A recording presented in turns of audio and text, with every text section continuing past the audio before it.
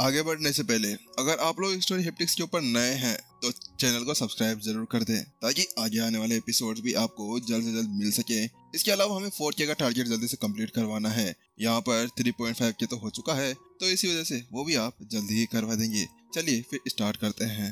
क्या लड़ाई? यहाँ पर विपिन पूरी तरह से असमंजस के अंदर पड़ चुका था। वास्तव में वहाँ पर वह सोचता था कि जो अलौकिक राक्षस होते हैं ना ये हमेशा लड़ाई लड़ाई लड़ाई लड़ाई के बारे में सोचा करते थे। हालाँकि वह ऐसा कोई युद्ध या ऐसी कोई लड़ाई नहीं किया करते थे, जिसको वह बिल्कुल शालीनता से और बिल्कुल आराम से लड़ सकते थे। उनके सामने तो केवल एक ही चीज़ आया करती थी, वो थी उनका रक्तपात। यानी कि यहाँ पर बस उनको धड़ा कर धीरे धड़ा के यहाँ पर लड़ाई के अंदर खून को निकालना होता था। वह यहाँ पर कभी भी इन तरह से लड़ाई नहीं किया करते थे। वो भी इस तरह से बोलकर तो बिल्कुल भी नहीं। और चलो ठीक है। इसके अलावा यहाँ पर ये क्या कर रहे हैं यहाँ? यहाँ पर अलौकिक राक्षसों को यहाँ पर होना एक पहले से बहुत ज़्यादा खतरनाक चीज़ हो चुकी थी। आखिरकार आसपास के अंदर बहुत सारे मास्टर टीचर्स घूम रहे थे।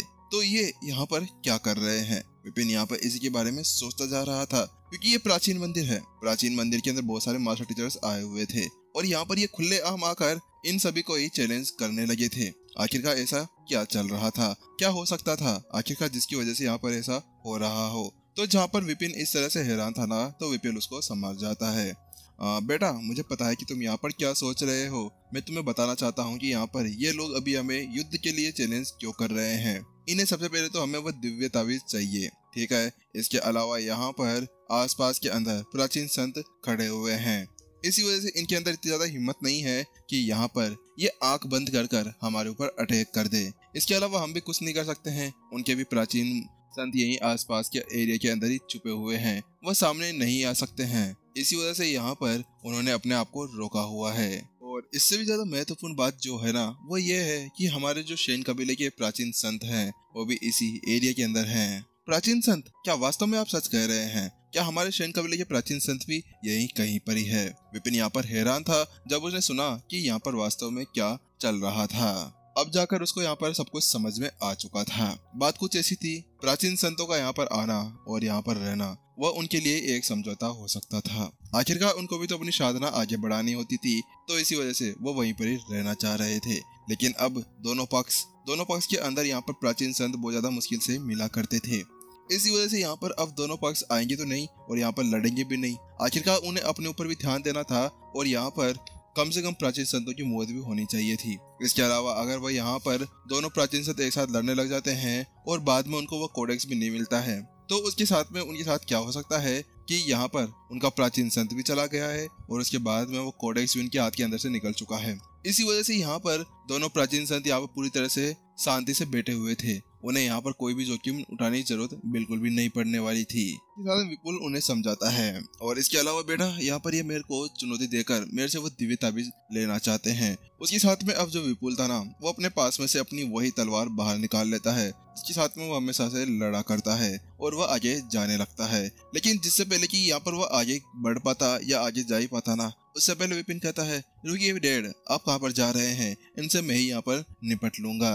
विपिन ने अपने पिता को वहीं पर रोक दिया था और वह आगे की तरफ़ बढ़ने लगता है। क्या तुम तुम आगे जाना चाहते हो? वहीं विपुल पूरी तरह से अचंभित रह चुका था। वहीं दूसरी तरफ़ विपिन कहता है हाँ हाँ वास्तव में। बात कुछ ऐसी कि यहाँ पर आते आते मुझे बहुत से संसाधन मिले हैं। इसके अलावा मैं यहाँ पर देखना चाहता हूँ कि मेरे अंदर किस तरह की पावर भरी हुई है और मेरे पास में जो भी है ना, उनके अंदर किस तरह की पावर्स है। इसी वजह से मैंने सोचा कि यहाँ पर यह सबसे ज़्यादा अच्छा मौका है कि यहाँ पर मैं अपने संत ग्रेट संत स्टेज टू के लेवल को भी यहाँ पर टेस्ट कर सकूँ और इसके अलावा मेरे पास में जो चीज़ें अभी अभी आई है ना घूमते फिरते वो भी यहाँ पर चेक कर सकूँ कि उनके अंदर किस तरह से आगे आने वाले समय के अंदर मेरे साथ देने के लिए काबिलियत है या नहीं।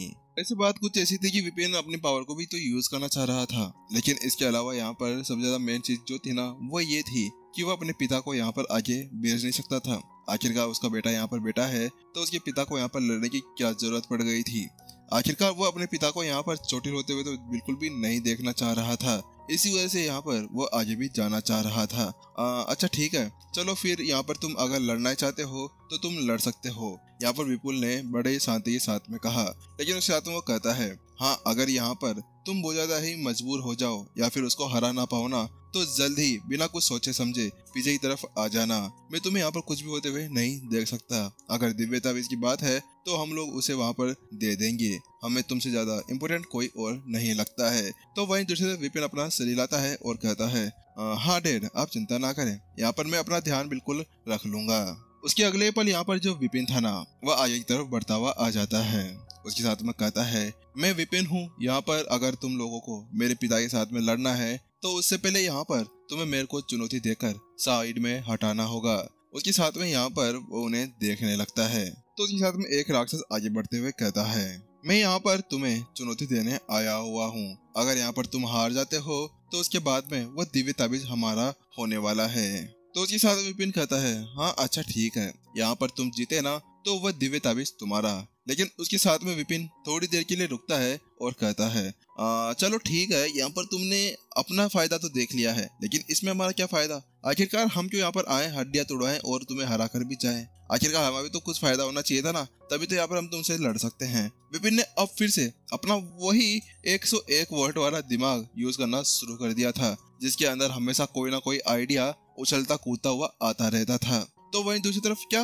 तुम्हें भी कुछ चाहिए? हम्म, चलो ठीक है। मेरे पास में ये ग्रेट संत की एक कलाकृति है। ये एक सील्ड है जिसके साथ में तुम अपने आप को प्रोटेक्ट कर सकते हो। वहाँ पर वो जल्द ही अपने साथ में एक रेड कलर की सील्ड बाहर निकाल लेता है जो एक देखने से एक कवच और उसके सामने एक शील्ड भी रखी गई थी जो ढाल थी। वहाँ पर वो उसके साथ में अटैच भी थी और उसके अंदर से खतरनाक एनर्जी बाहर निकल रही थी। वो डार्क रेड कलर के अंदर था और इसके अलावा उसके ऊपर एक मुकुटा भी था। कुछ ऐसा था जैसे कि यहाँ पर कोई अदृश्य इंसान हो जिसने यहाँ पर हाथ में ढाल और सर पे वो मुकुट लगाते हुए यहाँ पर उस कवच को पहना हुआ हो। क्या? बस ये एक? तुम पागल वागल हो क्या? तुम चाहते हो कि यहाँ पर केवल हम इस एक ग्रेट संत के लिए यहाँ पर लड़ाई करने लग जाएँ? अरे कम से कम कुछ शर्म तो करो तुम लोग। तुम यहाँ पर बिल्कुल ही मूर्ख मूर्ख हो क्या? यहाँ पर या हमें तुम मूर्ख समझते हो, यहाँ पर तुम्हें चाहिए दिव्य ताबीज और दिव्य ताबीज के बदले तुम यहाँ पर हमें ये देना चाह रहे हो। तुम्हें पता होगा ना कि यहाँ पर तुम्हारे पास में अगर वो दिव्य ताबीज भी आ जाता है, वो भी यहाँ पर। प्राइम ताबीज तो नहीं है, लेकिन यहाँ पर जो अधीनस्थ ताबीज है, वो उनमें से एक है। तो फिर भी तुम यहाँ पर ये सोच रहे हो कि अंदर जाकर तुम्हें कुछ नहीं मिल सकता? और फिर भी तुम यहाँ पर इन छोटी मोटी चीज़ों के लिए रो रहे हो? विपिन यहाँ पर अब उसको उकसाने लग रहा था।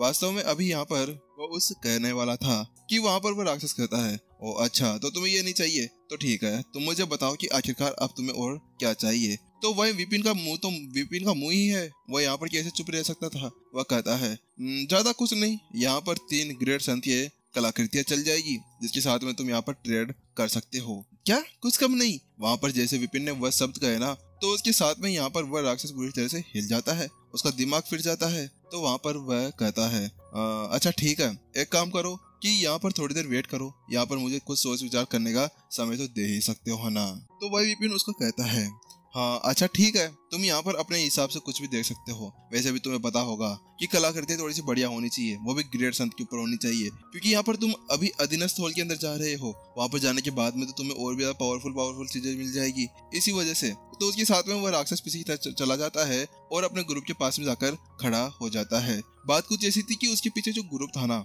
उसके अंदर तीस लोग थे। यानी तीस राक्षस बेले हो रखे थे। उनके अंदर हर एक लेवल यहाँ पर ग्रेट संत के ऊपर का था। और थोड़ी देर बाद में वो वापस लौट आता है और कहता है आ, अच्छा ठीक है यहाँ पर मैं तुम्हारे इस अनुरोध को स्वीकार करने वाला हूँ। इतना कहने के साथ में यहाँ पर जो राक्षस था ना अपने हाथ को झटका देता है और उसकी स्टोरी के अंदर से यहाँ पर तीन ग्रेट संत ये ऊपर की कृतियाँ उड़ती है और वहाँ पर उनके बीच में आकर तैरने लगती है।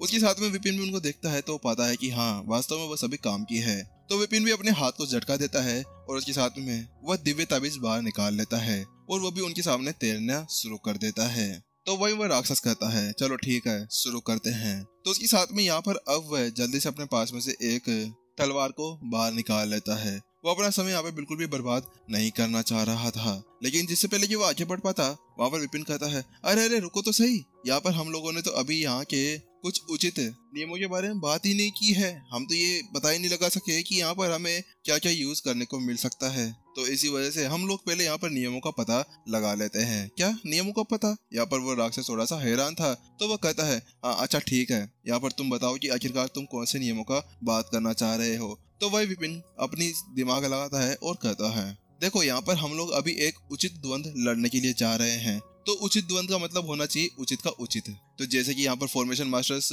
फॉर्मेशन बना के अच्छे होते हैं तो यहाँ पर जो बीस टेमर्स होते हैं वो बीस के अंदर अच्छे होते हैं। तो उनके ही वह हथियार हुआ करते हैं। तो यहाँ पर मैं भी तो एक कुछ हूँ ना तो मैं भी क्या अपने उन सभी साधनों का यूज़ कर सकता हूँ, जिसके लिए तुम कह रहे हो? तो वहीं दूसरी तरफ़ यहाँ पर उसने कहा हाँ हाँ ठीक है, बिल्कुल, तुम यहाँ पर कुछ भी कर सकते हो, तुम जो चाहो ना, वह कर सकते हो। वास्तव में राक्षस को भी पता था कि हाँ वास्तव में किसी का व्यवसाय यहाँ पर बहुत ज़्यादा काम कर होता था। आखिरकार यहाँ पर फॉर्मेशन मास्टर केवल फॉर्मेशन का यूज़ करके लड़ सकता था तो यहाँ पर बीस्ट टेमर बीस्ट का यूज़ करते हुए इसी वजह से यहाँ पर उस राक्षस ने ज़्यादा कुछ ध्यान नहीं दिया। तो उसके साथ विपिन कहता है, ओ, ठीक है, अगर तुम यहाँ पर तैयार हो तो चलो शुरू करते हैं। उसके साथ में जो राक्षस था ना, वो अपनी जगह पर खड़ा होता है और अपने हाथ के अंदर तलवार ले लेता है। उसके साथ विपिन कहता है, ठीक है, चलो मैं भी शुरू करता हूँ। इसके अगले पल विपिन जल्दी से बस चुटकी बजाता है और अगले ही पल।